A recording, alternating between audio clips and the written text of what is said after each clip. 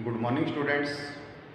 इससे पहले वाली क्लास में बेटा अपने fully taxable perquisites in case of all employees ये अपन बेटा डिस्कस कर रहे थे, जिसके अंदर मेनली अपने फोर पॉइंट्स अपन ने डिस्कस किए। जिसके अंदर बेटा sweeper watchman gardener cook facility gas water and electric facility education facility और मोटर कार फैसिलिटी ये पॉइंट बड़ा अपन ने डिस्कस किए थे। आल अपन जो इसके अंदर fully exempted perquisites in case of all employees यानी यदि वो एम्प्लॉई नॉर्मल एम्प्लॉई है या स्पेसिफिक एम्प्लॉई है, दोनों ही कंडीशन के अंदर ये परक्यूजिट्स है, ये फुल्ली एग्जेम्प्टेड होंगे।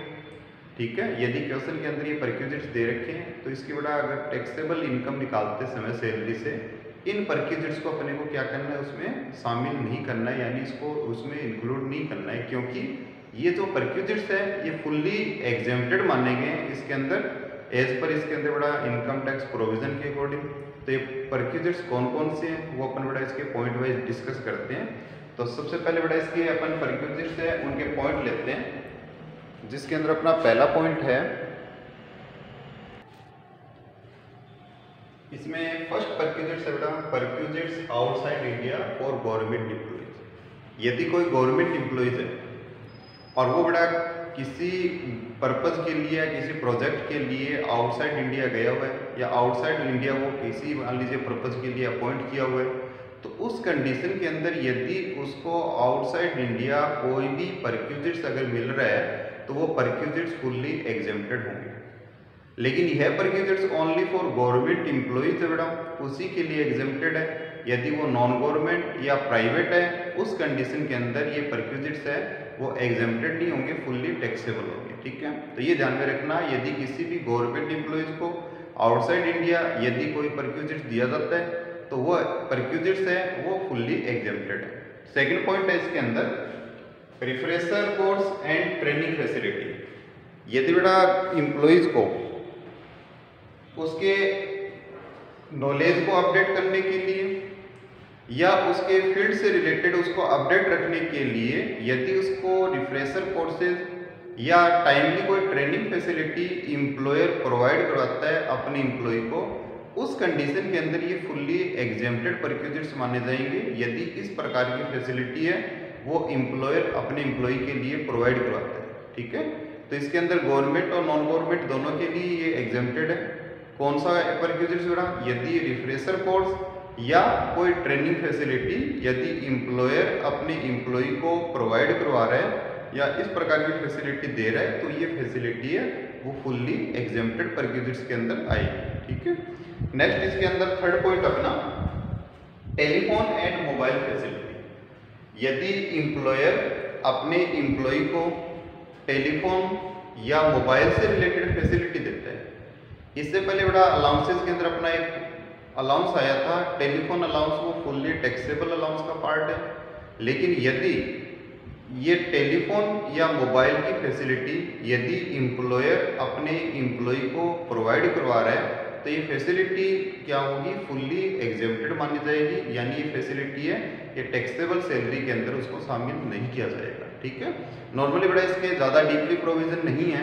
इसके जो बेसिक नाम है और उसके अकॉर्डिंग इसका थोड़ा सा नेचर के अकॉर्डिंग अपने को ध्यान रखना है कि क्वेश्चन करते समय अगर इस प्रकार की आपको परक्यूजिट्स दिखाई दे, इस प्रकार की यदि फैसिलिटी आपको कहीं नज़र आए तो ये फैसिलिटी फुल्ली एग्जेम्प्टेड है। तो ये आपको थोड़ा सा ध्यान रखना है। नेक्स्ट पॉइंट है इसके अंदर newspaper and magazine facility madam ये भी एज ए रिफ्रेशर जैसा ही बड़ा कि अपने आप को अपडेट रखने के लिए या उस बिज़नेस से रिलेटेड डिटेल के लिए या उसकी जानकारी के लिए ये इस प्रकार की न्यूज़पेपर या मैगजीन की फैसिलिटी है एम्प्लॉयर अपने एम्प्लॉय को प्रोवाइड करवा रहा है तो ये फैसिलिटी बड़ा फुल्ली एग्जाम्प्ट होती है, क्योंकि इसके अंदर बड़ा उसको अपडेट रखने से रिलेटेड फैसिलिटी है। सेकंड थर्ड फोर्थ जो पॉइंट आ रहा है, उसको अगर फैसिलिटी को अगर अपन देखें तो वो इससे एम्प्लॉई वो अपडेट रहेगा अपने आप में उस कंडीशन के अंदर इसका जो बेनिफिट है, वो एम्प्लॉयर को मिलेगा और एम्प्लॉयर को मिलेगा तो सीधा सा इसका कि वो बिज़नेस से रिलेटेड फैसिलिटी है, इसलिए इन फैसिलिटी को अपन क्या करते हैं बेटा? एग्जेम्प्टेड करते हैं। नेक्स्ट पॉइंट है इसके अंदर। फिफ्थ नंबर पॉइंट देखिए इंपॉर्टेंट पॉइंट है इसके अंदर। इसमें दे रखा आपके premium paid by employer for group accident insurance policy medical insurance policy and keyman insurance policy यदि एम्प्लॉयर अपने एम्प्लॉयज़ के लिए कोई ग्रुप एक्सीडेंटल इंश्योरेंस पॉलिसी लेता है, या मेडिकल इंश्योरेंस पॉलिसी लेता है, या बेटा देखो एक पॉलिसी और आई कि की मैन इंश्योरेंस पॉलिसी लेता है और इसका जो तो प्रीमियम का अमाउंट है, वो यदि एम्प्लॉयर पे कर रहा है एम्प्लॉयर चुका रहा है तो ये फैसिलिटी बेटा फुल्ली एग्जेप्टेड है। इससे पहले भी अपनी दो इंश्योरेंस पॉलिसी आई थी। वो फैसिलिटी बेटा अपनी फुल्ली टैक्सेबल थी in case of all employee जो फुल्ली टैक्सेबल परक्यूजिट से उसके अंदर लिया था अपन ने, जिसके अंदर था अपना इंश्योरेंस प्रीमियम यानी एलआईसी प्रीमियम ऑफ़ एम्प्लॉयज़ और एन्यूटी प्लान ऑफ़ एम्प्लॉयज़ उसका प्रीमियम यदि एम्प्लॉयर पे करता है एम्प्लॉयर चुकाता है इस सिचुएशन के अंदर अपनी जो फैसिलिटी थी, वो क्या थी बेटा फुल्ली टैक्सेबल थी, यानी उसका जो अमाउंट है, वो फुल्ली टैक्सेबल होगा, जितना भी प्रीमियम एम्प्लॉयर ने अपने एम्प्लॉय की इंश्योरेंस पॉलिसी के लिए पे किया है। लेकिन आज अपना जो पॉलिसी है बेटा, वो ध्यान रखना है इसके अंदर देखिए, तीन प्रकार की पॉलिसीज़ ली अपने। Group accident insurance policy medical insurance policy और की मैन इंश्योरेंस पॉलिसी यदि इस प्रकार की पॉलिसी यदि इम्प्लॉय ले रहे हैं तो इसका बेनिफिट बेटा इम्प्लॉयर के लिए होता है।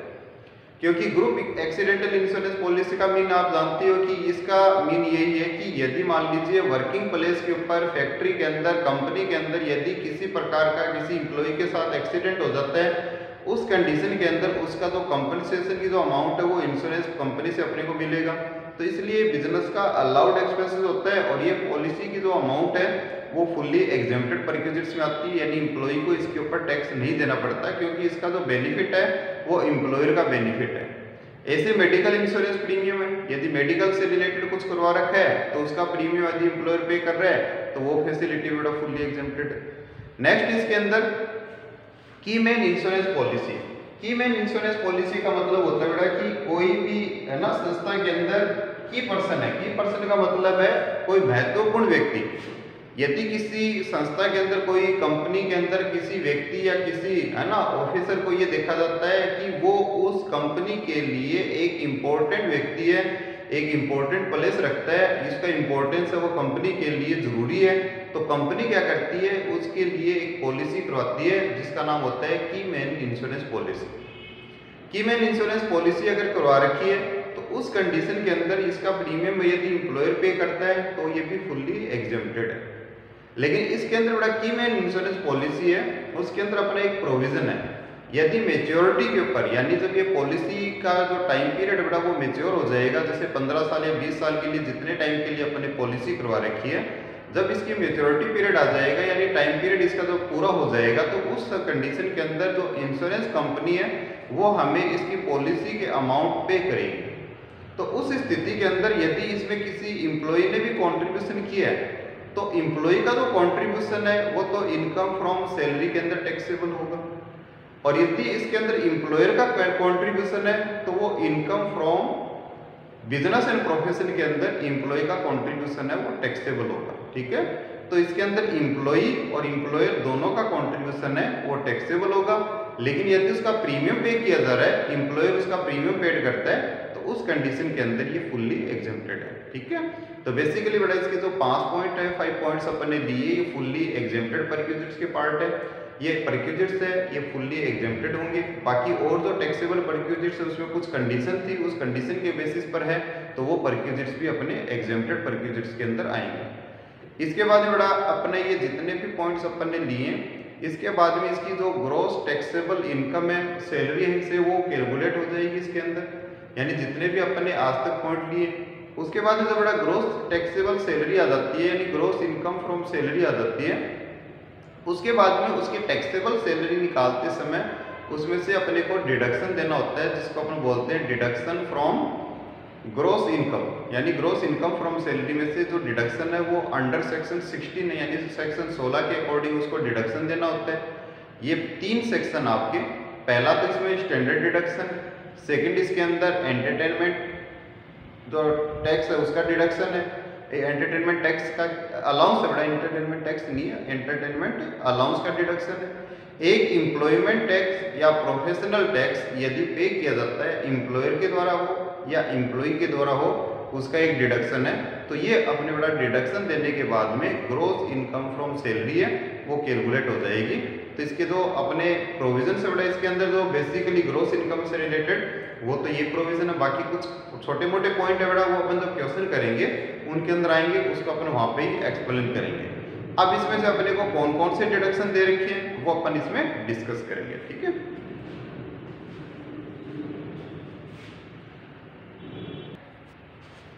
Deductions from gross income from salary under section 16 ये बड़ा सेक्शन 16 का डिडक्शन मिलता है, जिसके अंदर अपने पहला डिडक्शन लिया है स्टैंडर्ड डिडक्शन अंडर सेक्शन बड़ा 16 और इसका सब सेक्शन दे रखा है वन ए के अंदर ये डिडक्शन है। ये डिडक्शन बड़ा लास्ट जो प्रीवियस ईयर था अपना उससे बड़ा लागू किया गया इसके अंदर एक यूनिफॉर्म रेट से डिडक्शन मिलता है, चाहे एम्प्लॉई है, वो किसी भी कैटेगरी का हो। इसके अंदर बड़ा जो अपना डिडक्शन है, उसका अमाउंट अपन कैसे कैलकुलेट करेंगे? इसके अंदर अपने को दो, इसके अंदर बात देखनी बड़ा इसके अंदर। पहली कंडीशन तो ये देखनी कि ग्रोस इनकम फ्रॉम सैलरी यानी जो एम्प्लॉय की बड़ा वो सैलरी से ग्रोस इनकम कितनी हो रही है? वो प्लस इसके अंदर अपने को देखना है कि maximum amount rupees fifty thousand यानी पचास हज़ार रुपये उन दोनों में से whichever is less will be amount of deduction यदि उसकी ग्रोस सैलरी बड़ा अगर इनकम फ्रॉम सैलरी है, वो यदि मान लीजिए चालीस हज़ार है और तो डिडक्शन का अमाउंट फिफ्टी थाउज़ेंड है विच इज़ लेस यानी फोर्टी थाउज़ेंड लेस है तो फोर्टी थाउज़ेंड इसमें अमाउंट ऑफ़ डिडक्शन हो जाएगा तो टैक्सेबल इनकम फ्रॉम सैलरी वो नील हो जाएगी। यदि दो लाख रुपए यदि ग्रोस इनकम फ्रॉम सैलरी मान लीजिए तो gross income from salary two lakh rupees और इसके अंदर बड़ा maximum amount fifty thousand which average less का मतलब फिफ्टी थाउज़ेंड लेस है fifty thousand amount of deduction हो जाएगा और टैक्सेबल इनकम फ्रॉम सैलरी कितनी हो जाएगी? वन लाख फिफ्टी थाउज़ेंड यानी एक लाख पचास हज़ार रुपये अपनी इनकम फ्रॉम सैलरी होगी, ठीक? ठीक है? तो ये बड़ा सिंपल सा डिडक्शन अपना कि इसके अंदर दो ही चीज़ देखनी है। ग्रोस इनकम फ्रॉम सैलरी और मैक्सिमम अमाउंट कितना लेना है अपने को? रुपीज़ फिफ्टी थाउज़ेंड दोनों में से जो भी कम है whichever less will be amount of deduction होगी इसके अंदर। ये अपने को देखना है। सेकंड डिडक्शन है बेटा इसके अंदर एंटरटेनमेंट अलाउंस का है। एंटरटेनमेंट जो अलाउंस है, उसका डिडक्शन कैसे कैलकुलेट करेंगे बेटा? वो देखते हैं अपन। एंटरटेनमेंट अलाउंस के डिडक्शन के अंदर बेटा under section 16 two sub section 2 इसके, इसमें ये ध्यान में रखना है कि ये डिडक्शन जो दिया जाता है एंटरटेनमेंट अलाउंस का, वो ओनली फॉर गवर्नमेंट इंप्लॉइज है। यानी गवर्नमेंट इंप्लॉइज के लिए ये अलाउंस है, वो उसका डिडक्शन मिलेगा। बाकी यदि non government and semi government employees है, उनको ये डिडक्शन नहीं दिया जाएगा। इसका बड़ा अमाउंट ऑफ़ डिडक्शन कैलकुलेट करने के लिए अपने को तीन पॉइंट है वो डिस्कस करने हैं। पहला एक्चुअल अमाउंट ऑफ़ अलाउंस यानी जो एक्चुअल एंटरटेनमेंट अलाउंस है, उसकी जो अमाउंट है, वो लेनी है। सेकंड इसके अंदर वन फिफ्थ ऑफ़ बेसिक पे यानी जो आपका बेसिक पे आया है, उस बेसिक पे का वन फिफ्थ पार्ट लेना है, यानी एक बटे पाँच। उसके बाद में maximum amount rupees five thousand पाँच हज़ार रुपए। Whichever less will be amount of deduction यानी इनमें से जो भी कम है, वो अमाउंट ऑफ़ डिडक्शन होगा इसके अंदर। तो एंटरटेनमेंट अलाउंस का सिक्सटीन सेकेंड का बड़ा डिडक्शन है। इसमें एक्चुअल अमाउंट लेनी है एंटरटेनमेंट अलाउंस की। वन फिफ्थ या twenty percent of basic pay लेना है। थर्ड इसके अंदर मैक्सिमम अमाउंट लेना अपने को फाइव थाउज़ेंड इसको बड़ा कंपेयर करेंगे which which less will be amount of deduction यानी तीनों में से जो भी कम है, वो अमाउंट ऑफ़ डिडक्शन हो जाएगा। ये deduction only for government employees है, उनको ही दिया जाता है। यदि वो नॉन गवर्नमेंट प्राइवेट इंप्लॉइज है, उनको ये अलाउंस का डिडक्शन नहीं मिलेगा इसके अंदर। ये बड़ा सेकेंड डिडक्शन है। थर्ड अपन लेते हैं इसके अंदर, जो अपना है एम्प्लॉयमेंट टैक्स और प्रोफेशनल टैक्स एम्प्लॉयमेंट और professional tax section sixteen third इसके भी दो पार्ट्स हैं। इसके अंदर फ़र्स्ट अपन ने लिया है ए पॉइंट लिया इसके अंदर इफ़ पेड बाय एम्प्लॉय यदि एम्प्लॉयमेंट या प्रोफेशनल टैक्स का अमाउंट है, या टैक्स है, वो एम्प्लॉय के द्वारा पेड किया जाता है, उस कंडीशन के अंदर जितना भी उसने टैक्स का पेमेंट किया है, उतने अमाउंट को अपन उसकी ग्रोस इनकम फ्रॉम सैलरी में से डिडक्ट कर देंगे और उसका अपन डिडक्शन देंगे। ठीक है?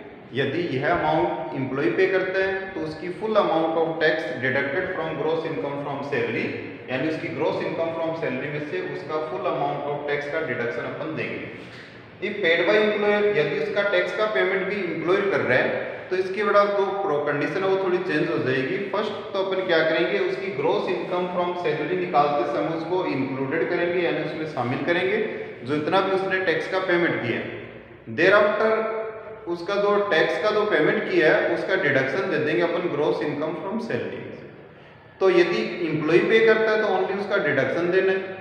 और यदि इम्प्लॉयर पे करता है तो पहले तो अपन क्या करेंगे, इसको बड़ा ग्रोस इनकम फ्रॉम सैलरी में शामिल करना है इंक्लूड करना है, और उसके बाद इसका डिडक्शन करना है। पहले उसको ऐड करना है, ये जो ग्रोस इनकम मानी जाएगी, क्योंकि ऑब्लिगेशन और liabilities of employee paid by employer यानी उसने उसका टैक्स का पेमेंट कर दिया, जिसको पेड करने की जो है वो किसकी थी इम्प्लॉय की थी, उस कंडीशन के अंदर पहले तो उसको ग्रोस इनकम में शामिल करेंगे और उसके बाद में जब उसका अपन टैक्सेबल सैलरी निकालेंगे या टैक्सेबल इनकम फ्रॉम सैलरी निकाल लेंगे उसका अपन डिडक्शन देंगे।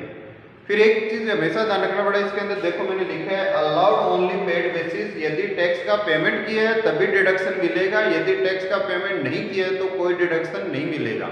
क्वेश्चन में लिखा होता है कि amount two thousand payable for employment tax but paid only rupees one thousand यानी दो हज़ार पेबल थी, लेकिन पेड एक हज़ार ही की तो एक हज़ार का ही डिडक्शन अपने को देना है। यदि उसने टू थाउज़ेंड पेमेंट कर दिया तो टू थाउज़ेंड का डिडक्शन दे देंगे। एक और बात ध्यान में रखनी है कि मैक्सिमम अमाउंट ऑफ़ इम्प्लॉयमेंट और प्रोफेशनल टैक्स है वो twenty five hundred per year है। बेटा इसके अंदर पच्चीस सौ रुपए एक साल तक अपन मैक्सिमम अलाउड कर सकते हैं। तो ये बात भी आपको इसके अंदर ध्यान रखनी है। ठीक है? तो ये अपना एम्प्लॉयमेंट और प्रोफेशनल टैक्स है। ये बड़ा तीन डिडक्शन थे। उसके बाद में आपकी जो टैक्सेबल इनकम फ्रॉम सैलरी है, वो अपनी कैलकुलेट हो जाएगी। यानी उसके बाद में अपने जितने भी जो प्रैक्टिकल प्रॉब्लम्स है क्वेश्चंस है, वो अपन इसके सोल्व कर सकते हैं आराम से इन प्रोविजंस को ध्यान में रखते हुए, इन प्रोविज़न को पढ़ते हुए, इन प्रोविज़न को याद करते हुए, ये बड़ा अपने जो प्रोविजंस हैं इनकम फ्रॉम सैलरी के ये अपने जो इम्पोर्टेंट जो पार्ट है इसका, वो अपन ने आज डिस्कस किया है। नेक्स्ट इसकी बड़ा प्रैक्टिकल प्रॉब्लम्स वगैरह वो अपन इसके अंदर देखेंगे। आज की क्लास में तो बड़ा इतना ही।